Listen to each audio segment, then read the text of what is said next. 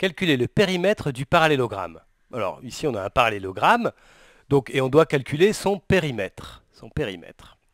Alors, euh, le fait que ce soit un parallélogramme, qu'est-ce que ça veut dire? Ça veut dire que les côtés sont 2 à 2 parallèles, donc ce côté-là, ici, que je dessine en rouge, est parallèle à celui-ci. Voilà. Et puis ce côté-là, il est parallèle à ce côté-ci. Voilà. Ça, c'est une des premières choses qu'on peut dire, puisqu'on sait que euh, cette figure-là, c'est un parallélogramme. On sait aussi que, euh, puisque c'est un parallélogramme, les côtés opposés ont même longueur, mais ça, ça nous est même donné dans la figure, puisqu'on nous dit que ce côté-là fait 12 cm, et celui-ci fait 12 cm aussi.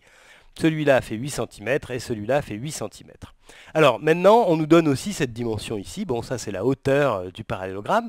Mais on nous demande de calculer son périmètre à ce parallélogramme. Donc en fait, ce qu'on va faire, c'est euh, calculer son périmètre, c'est juste calculer la distance de son contour.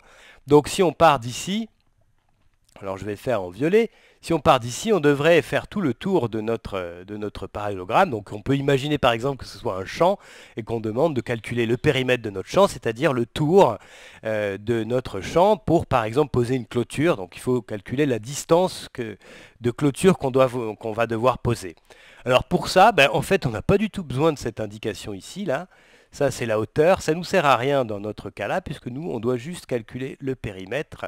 Donc le périmètre, ça va être uniquement la somme des, longueurs des côtés. Donc cette indication-là de la hauteur, pour euh, calculer le périmètre, ça ne nous sert à rien. C'est vraiment une donnée inutile dans, cette figure. Donc maintenant, on va calculer le périmètre comme la somme de nos longueurs, des, des longueurs de nos côtés. Pardon. Donc le périmètre, alors je vais l'écrire ici, le périmètre P, bien c'est d'abord, alors on fait d'abord ce, côté-là 12 cm, 12 cm, plus le côté qui est ici, c'est-à-dire 8 cm, plus, maintenant on est arrivé ici, donc on doit faire encore, on doit ajouter encore ces 12 cm qui correspondent à ce côté-là, donc plus 12 cm, plus maintenant le dernier côté, c'est-à-dire celui-ci qui fait 8 cm, voilà, plus 8 cm. Donc notre périmètre, c'est ça, c'est 12 plus 8 plus 12 plus 8 cm.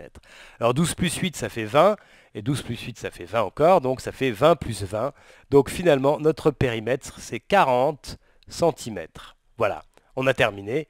Le périmètre, c'est 40 cm. Bon, évidemment, on a répondu à la question. tout à l'heure, j'avais dit qu'on pouvait imaginer que c'était un champ. Bon, ça serait vraiment un très petit champ. Donc, c'était pas tout à fait vraisemblable, mais bon, euh, c'est pas important puisque la question c'était juste de calculer le périmètre. Alors euh, le champ c'était juste une image pour euh, se représenter un petit peu le problème qu'on se posait. Voilà, donc la réponse c'est que le périmètre de ce parallélogramme c'est 40 cm.